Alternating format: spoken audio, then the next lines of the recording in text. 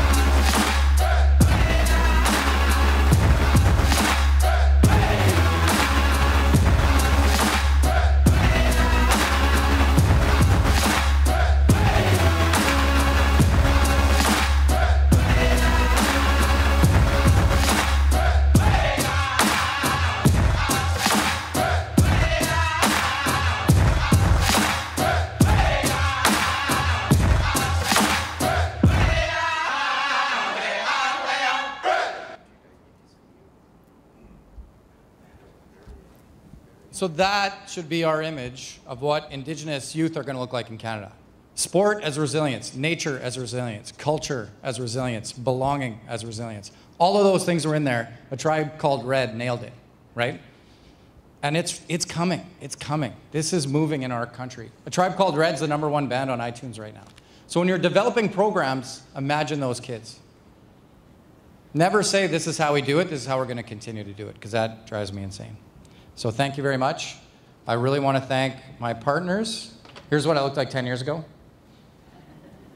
Larry Wood, Elma McKay, and Mary Wood. And uh, thank you very much for staying right to the very end and listening to this talk. Thank you. Thank you. Right here. Right here. Wow. Uh, Jonathan, stick around. We have some gifts for you. We have, uh, on behalf of the entire gang, my goodness, uh, go for a walk. There you go. Thank you for Urban Poling for supplying those. And we also have one of these babies right here. Uh, but I also uh, I, I, I, go to a lot of conferences and I make a living traveling around, doing stuff and, and talking and telling a lot of stories. And I get a lot of gifts.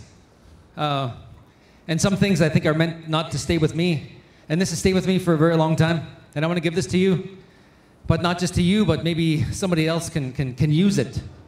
Uh, but I'd like to think that when, when you said resilience and resiliency, I, I'd like to believe that there's no people more resilient than our young people in our communities. And what makes our young people so resilient is knowing and feeling and understanding all that pain and the emptiness and the third world conditions and everything. But just the fact that they still have hope, to me, is what resiliency is all about and wanting to move forward in a good way. Uh, but I was gifted this by young people, and I want to give this to you to either keep to yourself or to pass it on to, to, to another youth around the country. So this says resiliency. So I want to give this to one of your clients, and let's do this and this. Thank you, man. Thank you. Thank you. And we tell that we, we tend to tell our young people all the time that they're the future, and every time we say that, they roll. Honestly, I see young people; they roll their eyes every single time. And our young people are not the future; they're the present, they're the now. But rather than maybe tell our young people they're the future, maybe we should, we should be telling our young people that they're the promise. And they're the promise that things are going to get better. And by telling them they're, they're the promise, is we're telling ourselves that we need to do a little bit more for them. And our commitment is steadfast that we continue to do more. Uh, it's so wonderful to, to, to, to end off with young people uh, because young people are always the start. So we either end off strong or start off strong. In my opinion, I always have a real soft spot for kids. I started doing this when I was 17 years old, traveling all over the country, and I'm 43 now. And I've been, I'm, I'm working on my second generation of, of people, of, of audiences. And uh, it, it's, this is so wonderful.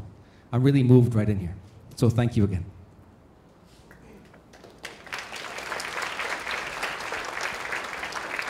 Uh, we are going to close up shop here. We got many, many gifts to give away.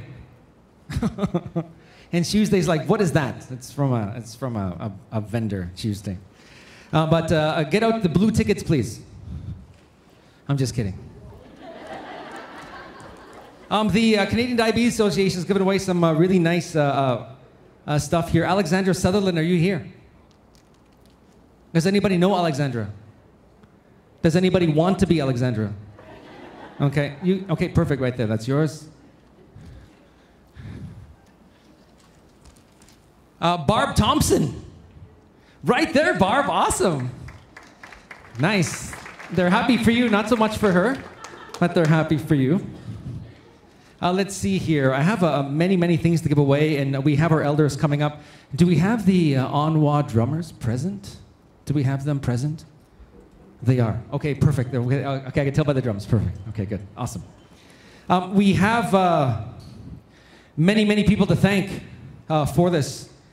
And as I was mentioning earlier, and I was just kidding around, uh, but we talked. I talked about this being the best conference ever, but not really been to any other conferences.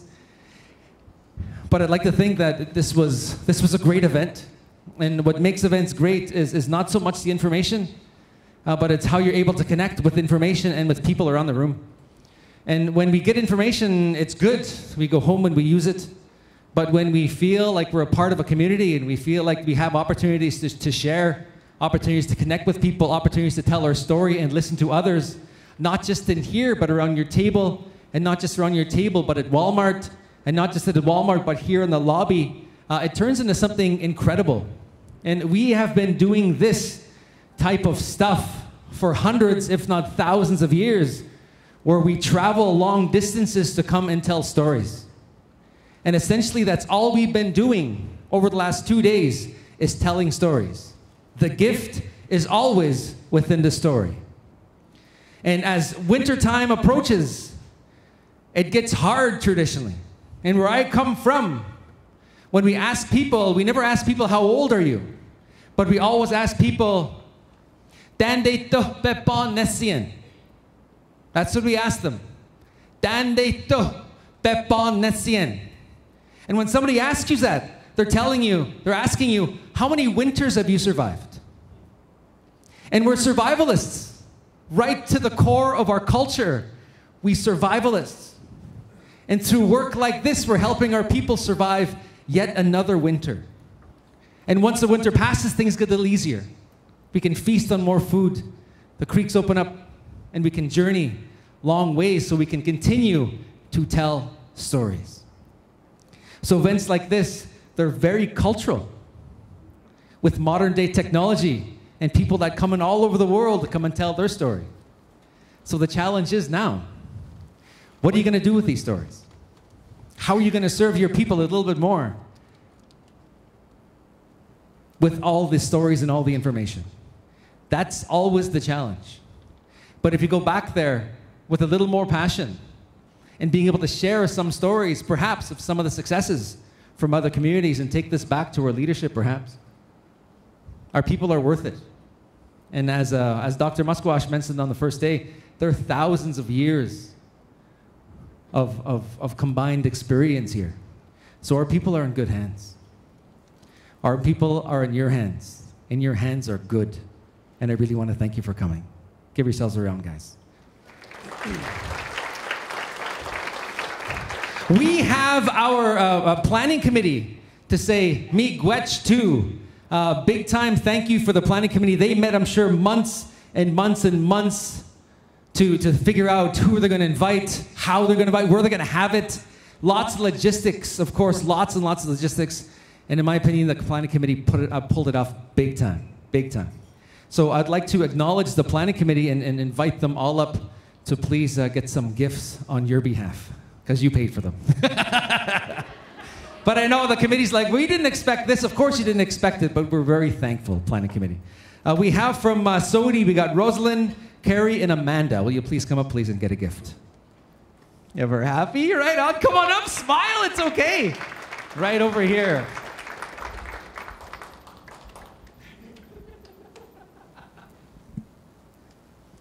From the National Association, Diabetes Association, we got Jeff and Alisher.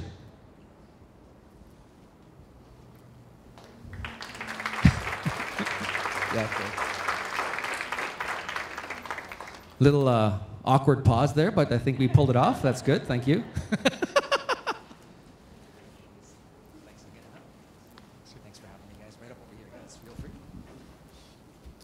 Uh, from Onwa, we have Ingrid Green.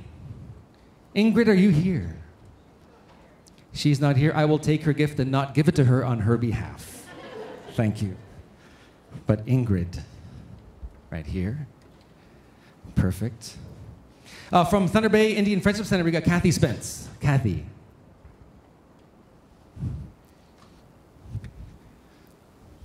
Take that here too. Uh, and I also want to, she's not here, uh, but my buddy Louie from ITK, uh, she is absolutely awesome, like awesome big time. Uh, so want to say miigwech to Louie as well from ITK. Um, Roz and Jeff, I understand you want to come up and, and make a presentation.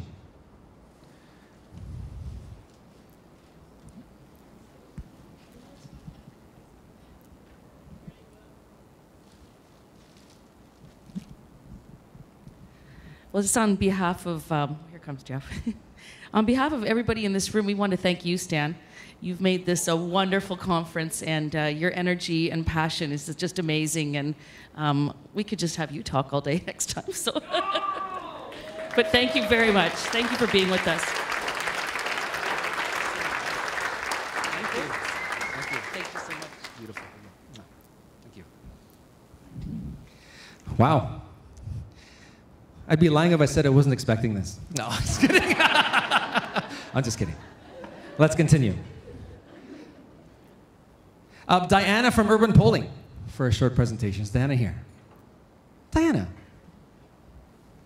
I think I'm the only thing between you and actually leaving, so I'm going to keep this really short. But I do want to say, um, just first off, thank you to um, NADA and SOADI and the other partnering um, organizations for allowing us to be here today. Uh, we really are thrilled to be able to speak with all of you. Um, I feel like many of you um, I know um, personally now over the last few years working with your communities and also the many new people that I met.